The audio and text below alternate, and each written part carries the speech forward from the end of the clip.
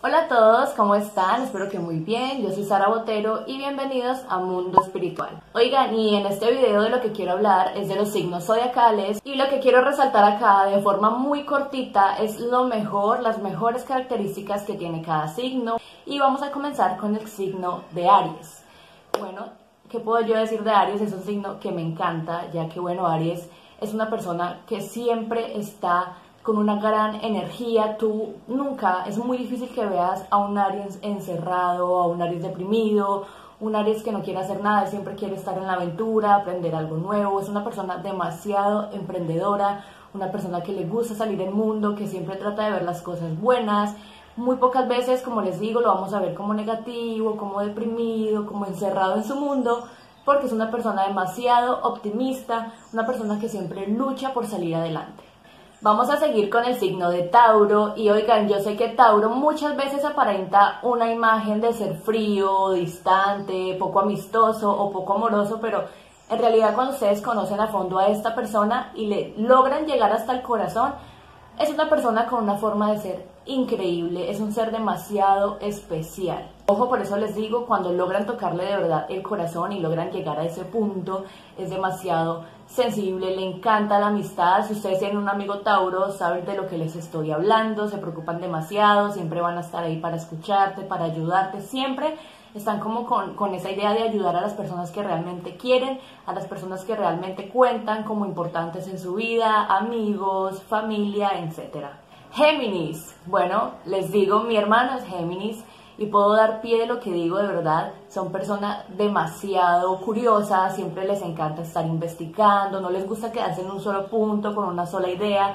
Siempre les gusta ir más allá, les gusta preguntar, les gusta averiguar por su propia cuenta, les encantan los debates sobre algún tema, les encanta escuchar y ser escuchados.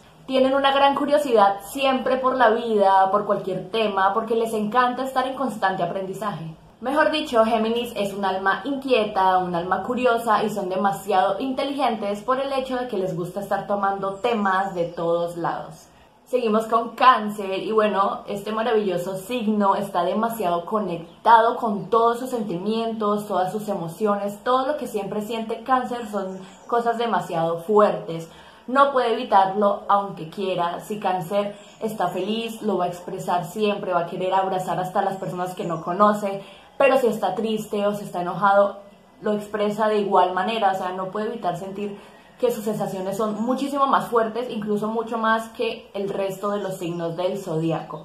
Siempre necesita expresar todo lo que está sintiendo en su interior y como les digo, es demasiado apegado a sus emociones y es demasiado fuerte lo que siente entre sí mismo. Proseguimos con Leo y la verdad es que las personas del signo Leo saben que es realidad y siempre llaman la atención a donde sea que vayan por su deslumbrante energía, por su forma de ser, por cómo hablan, por cómo actúan, cómo se mueven, cómo se expresan. Las personas se sienten muy atraídas por ese tipo de, de las personas del signo de Leo, ya que siempre están atrayendo todo, tienen demasiada energía, son demasiado confiados en ellos mismos, confían mucho en sus pensamientos, en su forma de ser, en todo lo que hacen. Confían demasiado en ellos, son muy seguros de sí mismos y como les digo, a donde llegan se sienten. Virgo, a ver, Virgo es un signo que ofrece demasiada confianza. Yo sé que tiene como una apariencia de ser frío, de ser distante, pero créanme que es un signo demasiado leal, demasiado sincero, demasiado honesto y asimismo él quiere que las demás personas sean con él.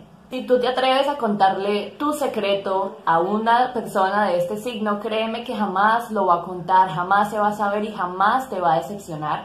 Es un signo que cree mucho en su palabra, para él su palabra es demasiado fuerte y es demasiado valiosa ante los demás y ante sí mismo. Tenemos a Libra, oigan, y como sabemos, Libra es el balance del zodíaco, Libra siempre quiere llevar una armonía, Libra siempre ve como los dos lados de las cosas. Un ejemplo, si tú conoces a alguien Libra, vas a confirmarme aquí en los comentarios si quieres.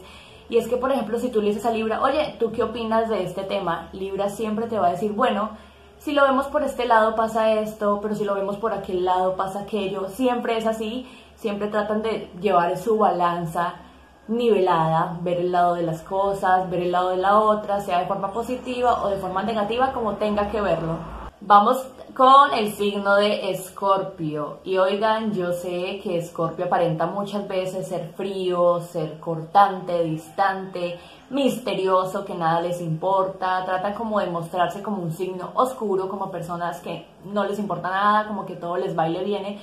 Pero oigan, o sea, ese corazoncito que tiene en el fondo es un dulcecito. Ustedes logran llegar ahí y la verdad es que la forma de ser de este signo es encantadora y arrolladora son demasiado dulces cuando en verdad se enamoran, cuando en verdad creen en una amistad y quieren demasiado a alguien, este signo lo entrega todo, sin más, o sea, él da o no da, así de sencillo, él no es de, de, de intermedios, él es demasiado extremo, o lo da todo o no da nada. Sagitario, bueno, Sagitario la verdad es que es un signo de admirar, yo he conocido a muchas personas de este signo de Sagitario y oigan, siempre tienen ese positivismo en todo. Siempre están con una sonrisa, siempre tienen alegría, nunca ven nada negativo.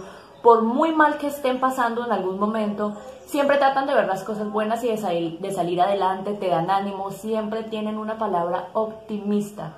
Capricornio, bueno, Capricornio siempre es un signo que cumple su palabra, le interesa muchísimo los actos, los hechos hablan muchísimo más para ellos y créeme que si un Capricornio te prometió algo, va a hacer lo que sea, así le cueste muchísimo, va a hacer hasta lo imposible por cumplirte.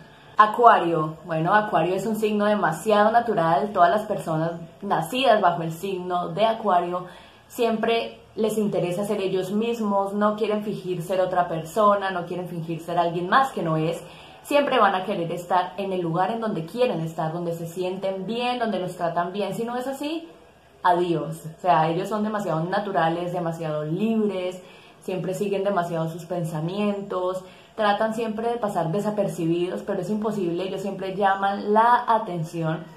Y si tú quieres juzgar a un acuario por su forma de ser, porque ellos saben que, como todos, somos imperfectos, tenemos defectos, pero ellos son mucho más conscientes de ello, pero igual si tú vas a criticarlo, créeme que Acuario le da exactamente lo mismo lo que tú opines o pienses sobre él. Piscis, Piscis tiene una muy buena intuición, como buen signo de agua es muy intuitivo, puedes saber lo que te está ocurriendo con tan solo mirarte a los ojos sin necesidad de entablar una conversación muy profunda, así que como buen intuitivo es un muy buen consejero. Y bueno, esos fueron los 12 signos. Espero que comenten aquí abajo cuál es el de ustedes, si se identificaron un poco o si no, o si hay alguna controversia. Yo estoy para leer todo con muchísimo amor. Espero que les haya gustado este video. Se pueden suscribir, activar la campanita de notificaciones para que cuando yo suba otro video les llegue primeramente a ustedes.